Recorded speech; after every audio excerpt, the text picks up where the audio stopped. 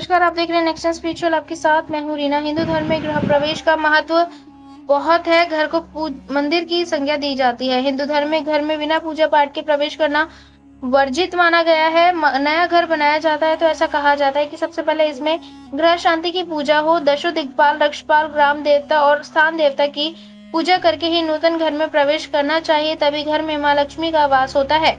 ऐसे में आज यानी कि तीन मई, मंगलवार के दिन अक्षय तृतीया की आदि पावन सुगम तिथि है। इस शुभ तिथि को शुभ और मंगलिक कार्यों के करने के लिए उत्तम फलदायी और विलक्षण माना जाता है।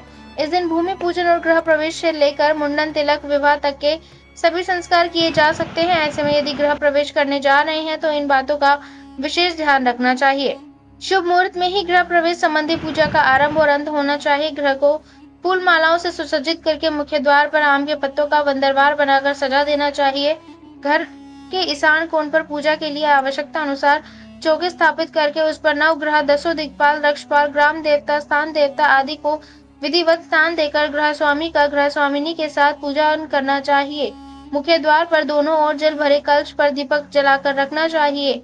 सुहागिन के साथ कन्या और गाय की पूजा करके दाया पैर पहले अंदर कर दाया पैर पहले अंदर करके प्रवेश करना चाहिए। मुख्य द्वार के बाद रसोई घर की पूजा ज़रूर कराई जाए।